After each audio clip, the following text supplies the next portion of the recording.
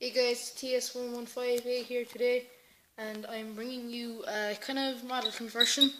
Not much, it's just, uh, as you can see, I've got the Siku uh, Bale forks on the JCB 416 Farmaster. Um, so what I've done is just, uh, you can take it off, it's not glued or anything.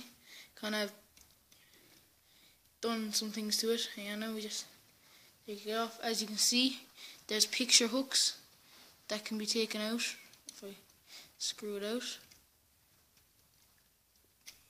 And they're off there. So so you can put back the Britain stuff on because you can't put them on with the screws on uh, or the hooks on.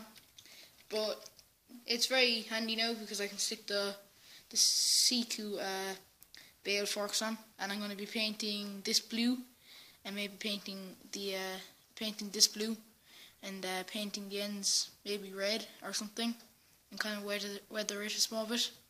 Uh, so it's just a quick update guys. Um, and I have, I ha I'm sorry for not uploading in the last few days uh, but there was thunder and lightning and the power went at our house. Uh, so I couldn't upload anything um, but the power's back now. So uh, expect a few good few uploads now.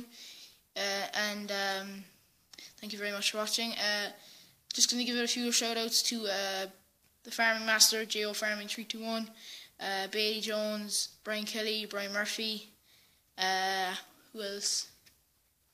Fear the Deer, um, Epic Crusty Boy, and Patrick McCann, and that's all I can think of. Thank you very much. For, thank you very much for watching, and hope to see you again soon, guys. Bye.